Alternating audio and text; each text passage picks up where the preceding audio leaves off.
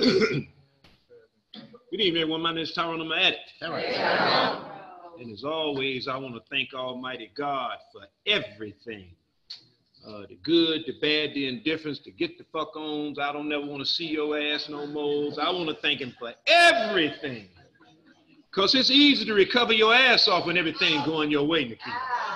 You can recover your ass off, boy, when you singing kumbayas and, you know, all the deacons is saying, bless you, brother. Uh, you, you know, you got it in then. But can you thank God when things is going downhill and you in the bowels of depravity with your clean time? And and and when they asked me to share, I said to Pat, I said, well, Pat, you know, I'm sort of like a NA terrorist. I, you know, I'm known to boldly go where other addicts haven't been before. I'm, I'm to pull a stunt, you know.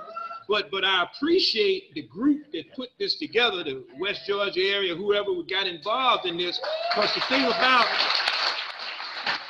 uh, uh, the, the, the, thing about uh, uh, when you do something different in Narcotics Anonymous, it sort of uh, uh, messes up uh, if, if, you're a Trekkie like me and you go outside the realm, you know what I mean? If you color outside the lines, and I so I'm ideal to speak for this because I'm always outside the line. I don't have a problem being by myself.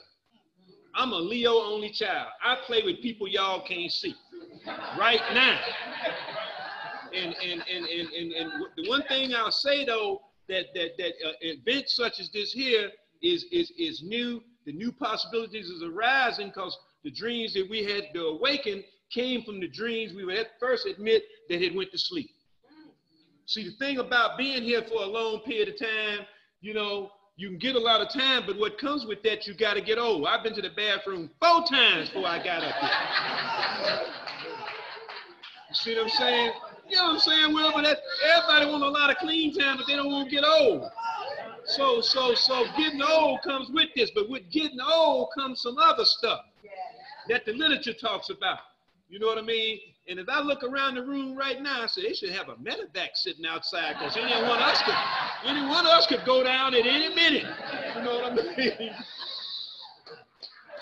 and I'm a little silly, you know, but but I've been coming.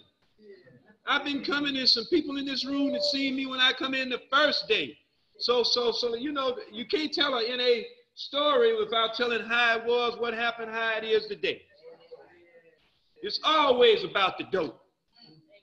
I, my greatest fear is that I'll have a good idea, won't come tell y'all about it, and then act on it. Because we've seen that happen, ain't we, Vern? We didn't see people with a lot of time come up with a good idea. Don't say nothing about it. And if we see them again, they badly mangle. So, so being old and doing this a lot, I know to write shit down because my mind ain't what it used to be. It just ain't what it used to be. And everybody know I've been on the circuit since I was a new guy under Them, I might have had when I was three years, I was a main speaker and I was going around the country sharing like Shakespeare, but I was living like a reindeer. Because that's what happens when you knew. If you if you like me, you know for a fact that all your early step work was written by the disease. You couldn't have known all that, Mitch. You couldn't have known it. Not when you've been behind enemy lines in a neon suit for years. I used dope from 13 to 38. When I started using skag, junk, we used to buy $2 buttons of Doogie. Now you know I'm old. We, we use names like Skag, Doogie, Jump. You know, we didn't say heroin. Who said that? Most of us couldn't even spell heroin. And, and, and, and so and so everybody that I want everybody to feel included here. This is the greatest gathering of the people who cut that one class in high school that we all should have made, the drug education class. When you come to the NA meeting, I know that's why you here. You the one cut class with me. You hung out in the pool hall. You stayed in the bathroom. You did everything but go to the drug education class. So welcome, you bunch of losers. and, and the reason I can say that and laugh about it, because in our literature, in the, in, in the flat book, it tell you in the first step that you fought and lost an exhaustive battle with drugs. So you're a loser. Don't get upset. He called me a loser. You're a loser. You didn't win. but I know for a fact that after that long using dope, man, a whole lot happened to me. I didn't stop till I was 38 years old. When I came to the program, I had been on the same job 20 years. I retired after 42 years, three months, and 18 days off one job. I've been married four times. Two of them escaped, the rest ran off. I ain't gonna even talk about all the ships I've been aboard. Especially the ones I can't even remember the names of some of them. And I'm talking about when the disease of addiction is active without the dope. Let's talk about active addiction without the dope after I got here and had been clean for a while. And then the manifestation of the disease of addiction started to spread its tentacles in the areas of my life, Sean, that I wouldn't admit to. So I write stuff down because my mind's still bad. You can't use dope for 25 years and your mind don't be bad. And the steps don't just make your mind good. It don't. But I learned some over a period of time, man, from getting a lot of go ahead on knots on my head. And see, a go ahead on knot is when God's gonna give you an understanding, but it the understanding don't come till the swelling go down. And, that, I mean, that's my learning curve. I'm not one who can just read it and get it. You know what I'm saying? The, the, the worst piece of information we ever shared in human history, in human history, is that experience is the best teacher. Uh, wrong answer. Education is the best teacher. What you get when you don't have one is an experience. Let that catch up. Because the literature says we experimented with drugs, right? We experimented with drugs. And so when you get clean and you've been so indulgent in the defects that comes along with the disease of addiction, you have to experiment with spiritual principles.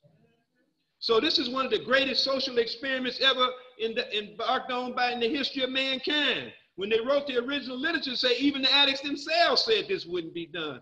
But here we are now sitting here, a room full of old people who experimented with drugs. And we the survivors of the war on drugs. We the walking wounded. And the greatest message is you can walk in this room and collect up a whole lot of artifacts. Which, which, which, which brings me to, to, to, to, to giving the committee a little more kudos because when you do anything different in Narcotics Anonymous, you're usually criticized and ostracized. It's just, it just comes with it. It just comes with it. But in order to recover, you got to do something different. Most of us want to get better, but we don't want to do nothing no different. We want to run off and hide out in church. Or we want to collect things and conditions we would equate with recovery just to still be spiritually hemorrhaging, and your clean time won't let you come to the meeting and share about the exact nature of who you're not.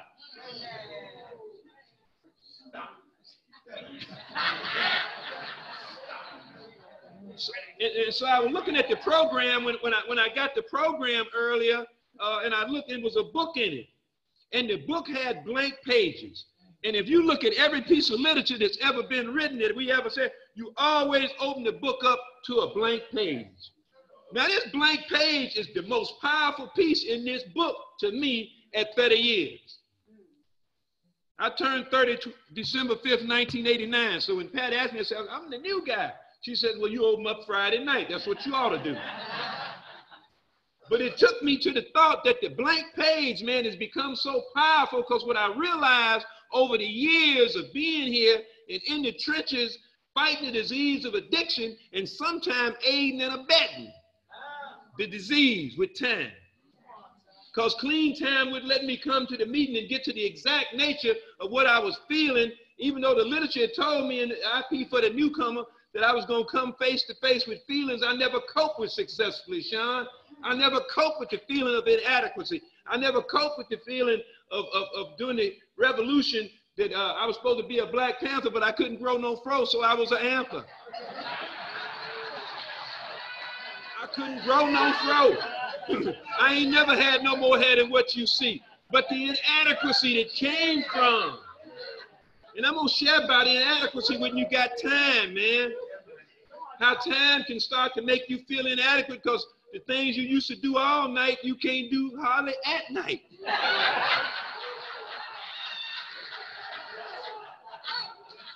I ain't joking, man. I'm talking about feelings. See, see, if, if they hadn't came up with the name of addiction, they, they would have called us the feelers. Because we always feeling something. We always feeling something. Lisa, sometimes I feel stuff that's not con, con, uh, conditional that, that, comes with the disease of addiction. See, I learned because you know I read so much. I read people say, you're gonna run yourself crazy reading. I probably am, but I'm gonna keep reading because the disease of addiction keeps reading. The disease of addiction still reads. And what it does, it reads the addict's feeling that if it can tap into the inadequacy that you feel, you got your egrees, you got your slick car, you got your big house, but you still wake up every day and have a bag of nothing if you ain't got that conscious contact with God. See, now people say, well, how does he, he's a gambling, rooting, tooting, whoremongering, hang at the titty bar type guy. What does he know about God? Trust me, we in constant contact. That's the only way I've survived. Because there's some, been some times in my life and my recovery that y'all ain't been visible or available. Because you know at any given moment, an addict can be not user friendly. Yeah. And, and, and, and so I'm going to talk about the blank page, right? The blank page, man, shows up in them areas of your life where the tentacles and spread itself into your addiction and you can't see it. Because see what you can't see, you won't talk about. You'll go right back to being the little kid. I don't see you. I don't see you. I'm talking about the disease of addiction manifests itself in a variety of mental obsession, compulsive action, got nothing to do with the dope. What's active addiction look like with no drugs in sight? What keeps you going back time and time again to that same pain, finding distorted security in that familiar pain, Sean, rather than let go for the unknown? Huh? What's it like standing in a relationship that's been sunk 10 years ago? I'm talking about when you become a necrophiliac. Anybody who don't know what a necrophiliac is, a person who has a fondness for dead things. You know, they, I'm sure down here in Atlanta, they bust an undertaker every now and then humping a dead body.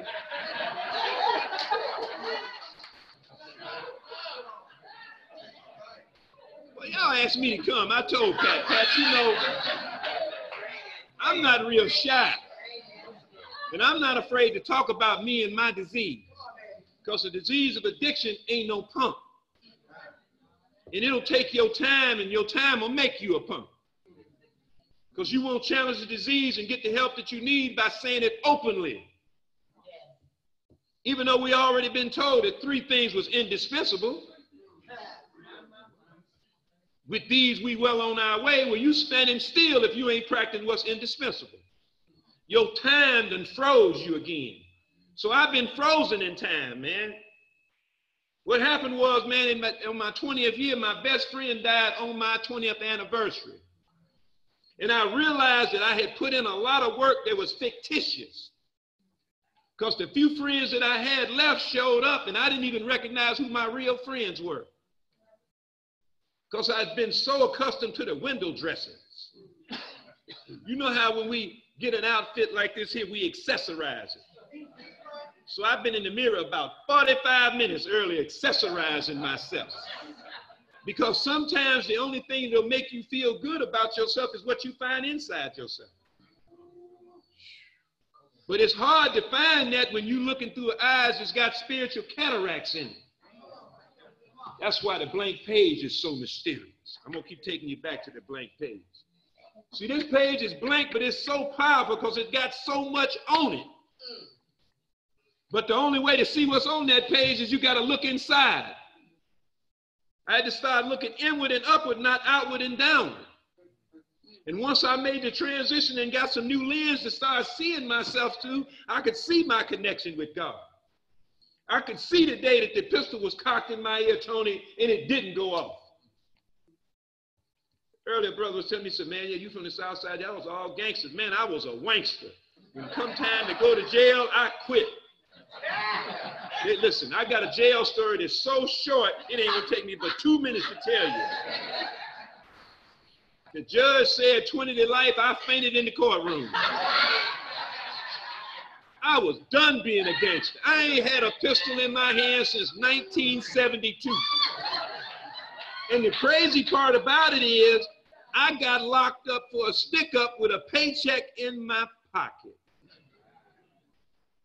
I'm that kid that became a chief steward and business agent in the unions when he was 20 years old.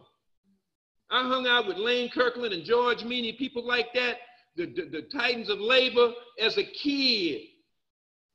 When I got here to to the program, I had 20 years on the railroad. I was getting money when money wasn't even fashionable. I was living so far up Lakeshore Drive, you couldn't find the, take the bus up there. But that didn't mean nothing to the disease of addiction. I'm that guy who used to do career days in the high schools. You would send your kid to school, and I would tell them, You might want to be like me. I look at this wonderful career I have after I stopped in the projects and copped. I'm talking about, man, the things that you look back at that now terrorize you because you realize that you done ruined a wonderful life and then get here and get clean and build a wonderful life and don't know how to appreciate it. Because there's something that's moving around in our fellowship now that, that, that may be somewhat dangerous. It's very challenging, especially with time. It's called AI, artificial intelligence. Because rather than talk to, I'll tell my sponsee, rather than talk, you want to text. If you text me, I got two in me, okay and no. That's it. Because what's happening to us as a fellowship, Mitch, is, is that AI is starting to overwhelm us. It's starting to get to the point that rather than have the constant contact, the human contact is so needed that our literature taught us we rather text we don't want to be face to face and so people can see that you're going through. I'm to send you an emoji to say how you feeling. What? the fuck is an emoji? So it's been very uh, dangerous, man. And, and, and so I said to myself, the commitment that I'm to make to God in this fellowship is I'm going to get right to talking about what we ain't saying that we slowly committing suicide, Vern, because we're getting so far away from the basics that work for us. Not that we shouldn't improve, because if you go right now to any store and buy any product, they got some new and improved shit. Thank God that we evolve in the way we are now. And this is a great piece to use. This is part of the evolution of our fellowship. But we don't want to get so far away that we don't understand that the steps still work. Ain't no no www.step2.com. That shit's not gonna work. Because you'll over you'll overdose on stupidity. You'll get so intelligent that artificial intelligence won't let you pick up the phone no more. The steps still work like Ex-Lax. Don't take one till you're ready to clean out. Or you can just try. Take your Ex-Lax and then change your mind.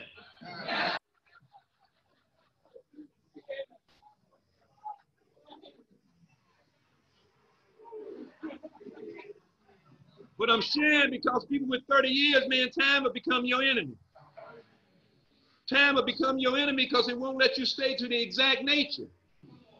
The normalization of deviance speaks to a process that we know that came from a three, four million dollar research deal that they did, Sean, when the, when the space shuttle blew up, we did this big ass research development thing, right? We're gonna find out what happened. Well, what happened was, is just like we do with, with character defects.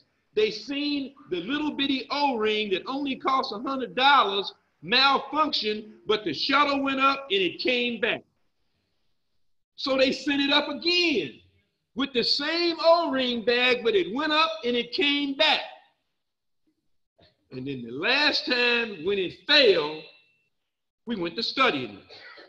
Just like we do with character defects that come from the disease of addiction. We can function with them, but one day they gonna blow up.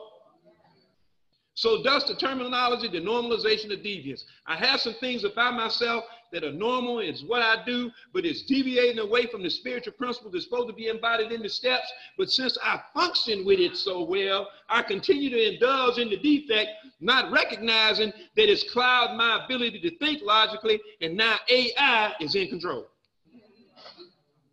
I've created a spiritual artificial intelligence that's making me believe that who I am is who I was designed to be. So now I've become something that I'm not.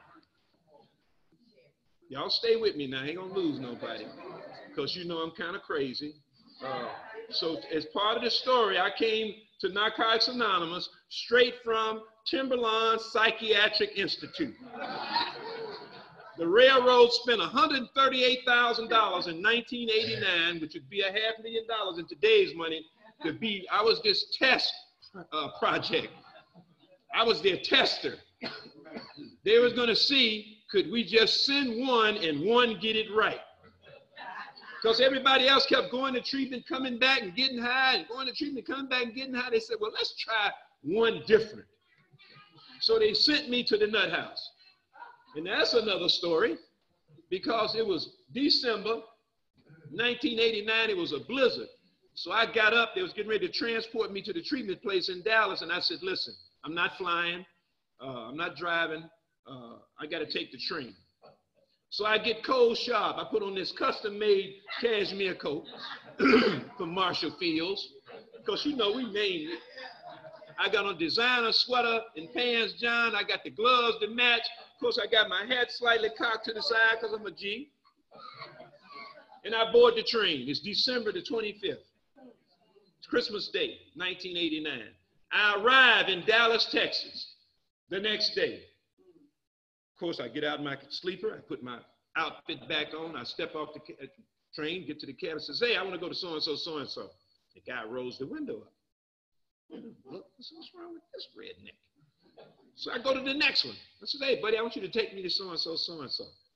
He rolls the window up. So about the fifth cab, the guy said, well, come on, by golly, I'll take you. Now, what I didn't recognize at the time, no, Sean, is that here I am in a full-length wool coat, wool pants, wool sweater. It's 76 degrees. and the address I'm telling them is the Psychiatric Institute. We talking about the we talking about the disease of addiction. We talking about the disease of addiction will make you get dressed up to go to the crazy house. Now it's a funny story now, but, but that was not a funny story until I got to the point that I could take a look at what I wouldn't take a look at. So see what you won't take a look at, you won't talk about. Yeah, old timers. You won't talk about what you won't take a look at. And when you get to the wretchedness that comes with time, because we can indulge in some stuff that's so creepy, so, you know, because I just, hate I like creeps. Tell the truth. People tell me, see somebody with me, listen, babe, we ain't got to ask you no lot of questions. People that know me know if you with Tyrone, you a creep. you only like creepy people. He, I'm, listen, I'm not one of them ones who ain't gonna lay hands on the newcomers. I have to cut all that bullshit out. I'm gonna get the new off of before y'all do. Now, you don't have to tell about yours. I'm telling you about mine. But we all got one somewhere. There's a body laying. I know y'all all walking hand in hand with the high power and just practicing spiritual principles everywhere you go. I'm sure. But the disease of addiction won't let you talk about it.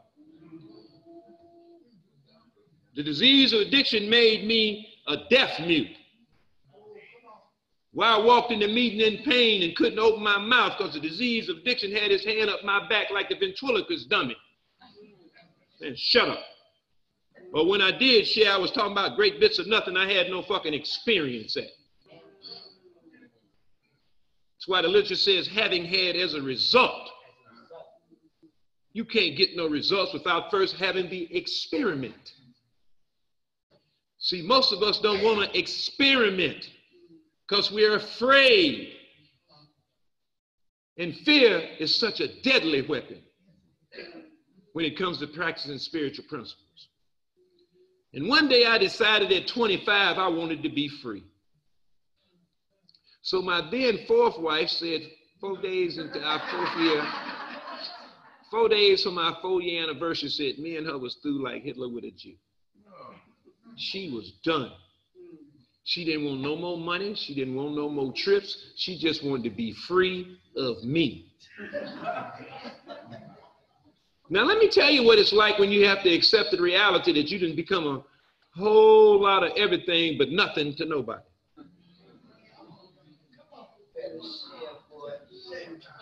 After all you've acquired, after all you've desired, and then you look up and there's nobody there but you, and who's looking back at you in the mirror ain't you how the disease of addiction has transformed me into somebody I didn't know or understand with no dope. Very sobering, isn't it? You have a, another blank page moment. Back to the blank page. Your blank page moment is coming. And that blank page moment ain't no joke. Because what happens is what you won't talk about, you won't accept. You can't see what you won't look at. And you ain't gonna talk about what you won't see. And you ain't gonna accept anything that makes you feel inadequate. But aging brings on inadequacy, folks.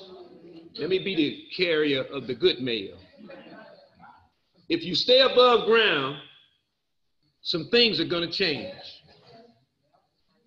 But if your spiritual condition stays intact, it'll be the basis for a successful recovery. And it's been my spiritual condition and the people that genuinely love me for just me, not just me and my good self, but just me and myself. Because I ain't defect free. I don't even want to be. Let me talk about that. I just want to be me. And that changes daily. Some days I feel like Captain Kirk. Some days I want to be Huey P. Newton. Some days I want to be Superfly. Some days. But most days I'm happy to be a recovering addict. But that's very challenging every day. Imagine coming to the meetings and you the old timer at every meeting you go to. Where does the help get help from? Who helps the help? The sheep don't feed the shepherd. Thus, I'm glad you guys having this idea. This, this is a new idea. See, and in order for us to get a new idea in place, we got to first take the risk of being ostracized and criticized. We were having a lively discussion out earlier for this when I first got here about uh, the 11 tradition and anonymity and all that. And I said, well, when those were written, we were hiding out. We were on the run. You didn't say you was an addict out loud. Nobody said that. We were hiding out then. This is a worldwide known organization now. When are we going to stop hiding? When are we going to see that God's grace is real? The greatest evidence, Charlie C. always says, the greatest evidence that God is real, you walk in a room full of addicts and they all clean. But I know there's two type of people you're going to meet in Narcotics Anonymous.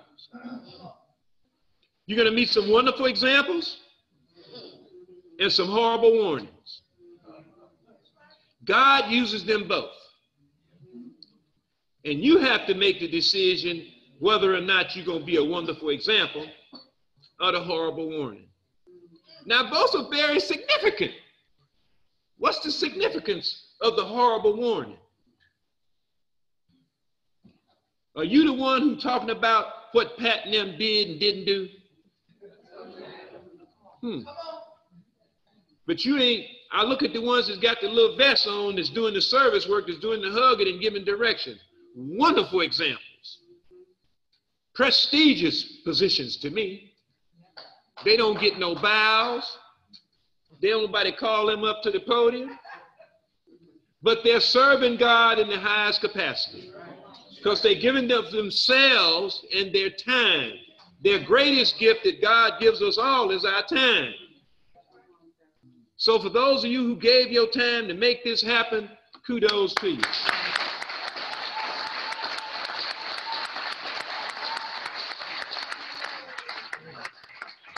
Because artificial intelligence will tell you, you ain't nobody. Your name ain't even on, on nothing. But the imprint that we're leaving in this society, in this society, the imprint that we leave in now is going to be the one, Tony, when the generations that come behind us are going to say, when did they do that? Who was there? Who hugged you first? Remember your very first hug that made you feel a part of this thing? That person made an impact. So, what are you doing to impact the growth and development of this fellowship? Or are you still the one throwing rocks at the little glass house? Afraid to come inside and duck the glass. The Living Clean says when we get here, first we take, then we give. Yeah, we all took something.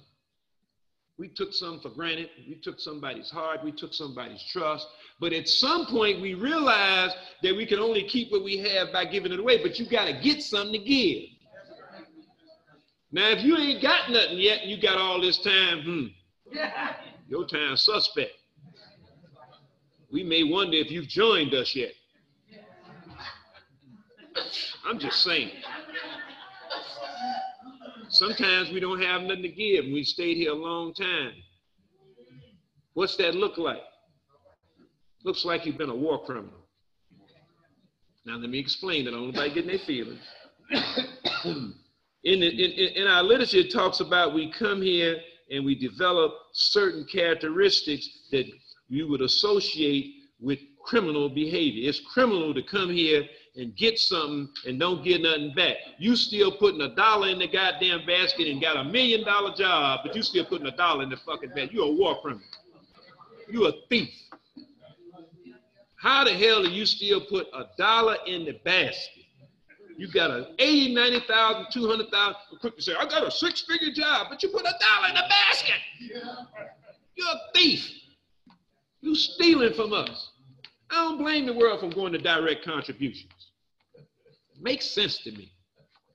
Maybe you'll do better if don't nobody see you putting that down. So maybe you send a dollar a month. I but I got another piece I want to cover. Another couple pieces I want about time as your enemy. When your time turns against you.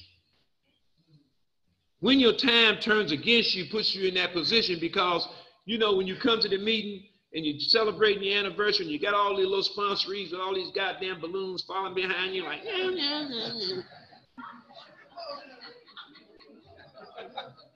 It's a setup by the disease.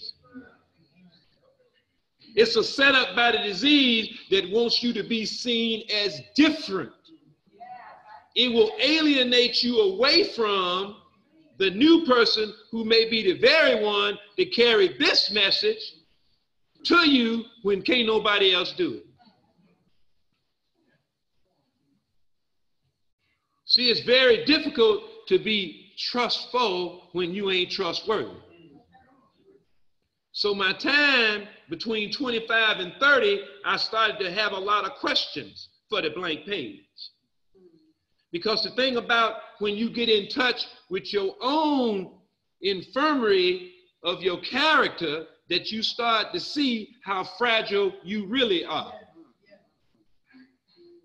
You can drop cotton on your feet and hurt your feelings now. Good brother over there that I, uh, doing my other business, we was down in Iowa somewhere. He was telling me about his feelings that he had encountered when I, my guy went and cut the damn tape off on him, right? And that, that was good stuff. And I appreciate that, Dave, because sometimes with time, we become insensitive. I'm just talking about me. I have become insensitive to the needs of the newer members, and even more so to feelings of those with more time than me, because we say silly shit like, as long as you've been clean, you ain't got through that. Hell no. no, I ain't got through it. I still got some unaddressed issues. I got some things that still go back when we wasn't black and proud. I'm the kid, you know, that rode the colored car back and forth from Greenwood, Mississippi to Chicago. I told Tony this story. I used to ride the goddamn colored car with the note on my neck. I still got some fucking issues, Wilbur. I ain't processed a lot of that shit. I'm easily offended. Don't call me black. Never wanted to be black. Okay, don't get quiet. Goddamn. Sorry. Sorry. But I come up in that era, and Wilbur talked about that era. I came up in that era. You know what I mean? I wanted to be with the Cleavers. You know what I'm saying? But I lived down in the hood. Me and Johnny and we come off 58th Street. We had glass, not grass. We played in the fucking vacant lots. What no park district? The park district where we went to playing at. That was the park district. I'm that kid who had to drink out the colored fountain. So I got some fucking issues, man. Yeah, and they don't just go away because you get clean. The social ills that we face in society, we come into the fellowship with them. That's why this room is looking so marvelous. I'm like, damn. I'm, you know, I'm usually being down here on the chitlin circuit. you know, but this is this is extraordinary. I mean, this is an extraordinary event because it reflects the diversity of our fellowship as it should look.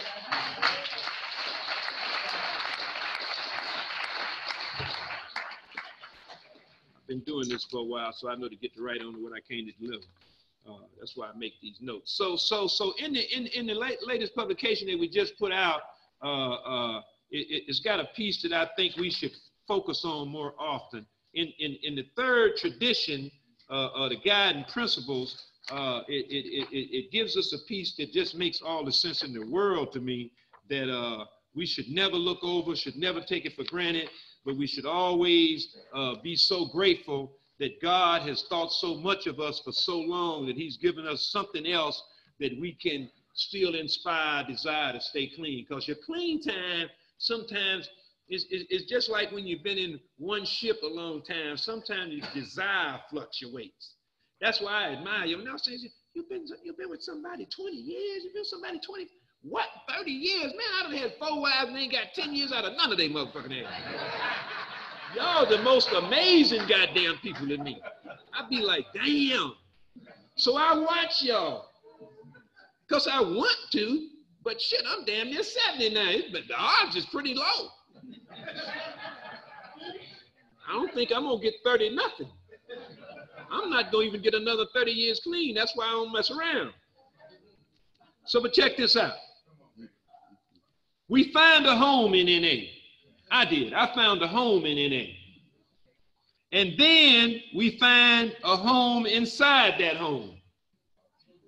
Home inside a home. When, when I go out the West Coast out there with Wilbur Dez and them men, I be at home. I'm the same clowning ass person I am here that I am there because I'm free to be me. I took the steps. It was like the Ex-Lax of the spirit that I needed to flush myself of what had me spiritually constipated and emotionally hostage to y'all bullshit. Because you can come into fellowship and pick up a lot of bullshit. That's dangerous. Because with time, you start to become dogmatic. We forget what's indispensable, and most of all, what open-mindedness really look like. I was telling my grand Tony that I said, man, listen, stay fluid with your open-mindedness, because you're gonna come face to face with some shit you ain't cope with successfully, and then you're gonna come up on something that you ain't never experienced before. And if you ain't fluid in your open-mindedness, you'll get locked and loaded and constipated. So the steps are for spiritual constipation. Power greater than me restored me to greatness. Not goodness. Fried chicken is good. Sex is good. I'm here to be great. I believe that greatness is our birthright. We just gave it away because we picked up dope. The drug education class. So within the weird, within the wide, weird, wonderful world of NA membership, we find our tribe. It said, wide, weird. So if I see you jumping out of airplane, sniffing elephant farts, welcome. I expect you to be weird. You can't use dope 10, 15, 20 years and not be weird. It's just natural. Why would you nod, Travis, for 10 years, wake up, take a blast, run down the street naked? Then when the police get you, you want to ask them, what's wrong? so in NA, this fellowship, this room of weirdos, that God has seen greatness in each of us, that He found this place and set us all here so we could experiment, because that's what this is. Trust me, it's an experiment. You don't know when you're going to break out on yourself, but that's okay. We'll say something real clever, Vern, like, just come here, baby, give me a hug, keep coming back. Don't use, you'll be okay. And it works. That's the craziest damn thing. When they released me from Timberlawn, sent the railroad that $138,000 bill, the only thing they gave me was an NA director. I said, this is bullshit. After all them learned people, all them doctors and psychiatrists looking at me every day, telling me, how do you feel? They gave me a Narcotics Anonymous directory. Now imagine that. Here in this room are some of the most learned, educated, devious, diabolical people known to mankind. Long before Al Qaeda, they had us in the neighborhood.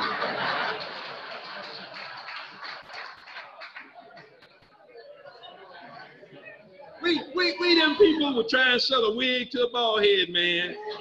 A lawnmower during a blizzard. You know what I mean? And, and, and, and, and you know, the, the people in here are so learned.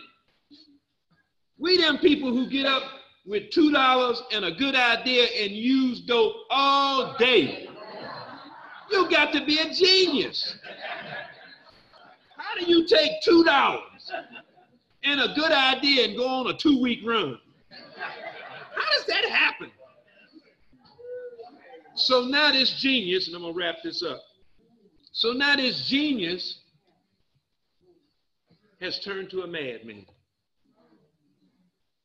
Because the disease of addiction with time will tell you you ain't got nothing else to give. Mm-hmm. It'll steal your voice. It'll say silly shit like, well, let the new people work on that. No, no, no, no, no, no, no, no, no. No, no, no, no, no, no. no. We're not going to do that. Those of us with time are going to show up here and still be the foundation that they can build this house on. We need to stay in place, allow the new ones to experiment, but we going to watch their ass. They're going to be under constant supervision. You ain't never off probation. Because here's what the literature says. I'm still in the third tradition in this same paragraph. It says, if something changes, listen to this now. This is the wisdom of the Celts. This is some shit so deep, I think it must have been written by God Himself. If something changes, a breakup, a move, a death, and that group is no longer the center of our recovering life, we expand our horizons. We expand our horizons and our network. We expand. We don't fold. We them people, man, listen. You remember when they had you surrounded and you they, you just knew they had you. The popo was right there. You didn't see no way out, but somehow you come from up under that thing. Right? I'm talking about we showed great courage even though we was cowards because we were driven by a power greater than ourselves that we couldn't recognize, let alone explain. Listen what it says here now. So we expand our and our network. We find ways to give back. Old timers, we find ways to give back. It don't have to be sponsorship. It just go sit your ass in the meeting and look at them. Like, really? That's what I do in the meeting. I just sit there.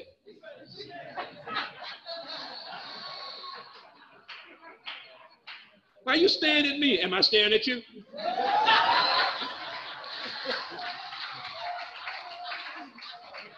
because it's our obligation. The, the, the, for those of you who study particular uh, uh, dogmas, you know, they say if you spare that rod, you ruin the child.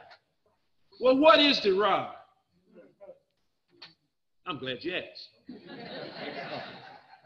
Responsibility, obligation, and duty. It's my responsibility. I got 30 years. It's my responsibility to sit here, be the foundation so that the next generation can continue to build on the hard-won experience that all of us has went through. That's the responsibility. And unless that's taught, it'll be lost. The obligation comes from what I said to God in the first step that I'd become willing to do whatever was necessary to stay clean, even the things I didn't like doing. Y'all remember that line? It's still there. That's still in the book. It's my obligation. When Pat called me, it was my obligation to say, Thank you, God. You still got some usefulness for old Dauphine. New people, if you're under 30 years, this is where God recycles. This is his recycling center. We got enough goddamn it medications and, and false parts and shit to start a museum.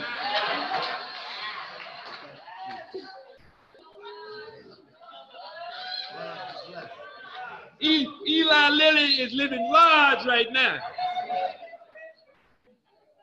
Obligation. Because God did something for you that you could never do for yourself. It's my duty to show up here. That's right.